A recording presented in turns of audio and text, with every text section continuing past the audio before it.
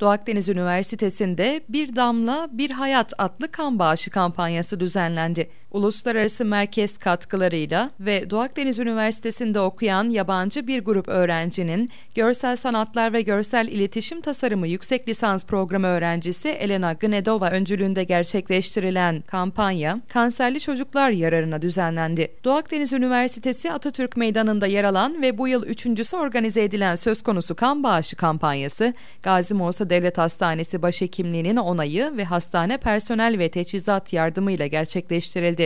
Dağı İşbirliği'nde sıkça kampanyalar düzenliyorsunuz. Bu kampanyalarla ilgili neler söylemek istersiniz? Tabii birçok e, kan eksiğimizi karşılıyoruz bu kampanyalarla. Çünkü birçok hastamız var, talasemyalılar var, onkoloji hastaları var. Onların ihtiyaçlarını karşılıyoruz.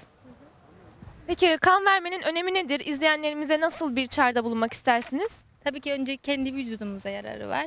Vücuttaki kan basıncı düşer, hani beyindeki, kalpteki basınçlar düşer. E, ayrıca tabii karşı tarafında ihtiyacı karşılanır.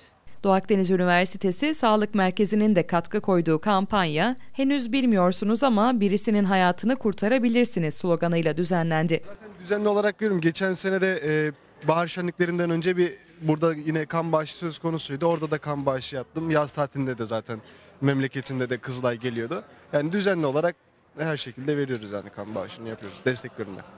Her zaman veya herhangi bir günde herhangi birimizin buna ihtiyacı olabilir. Bu bilinçte davranmamız gerekir. Buna duyarlı olmamız gerekir. Ben de bunu eklemek istedim. Teşekkür ederim sizlere.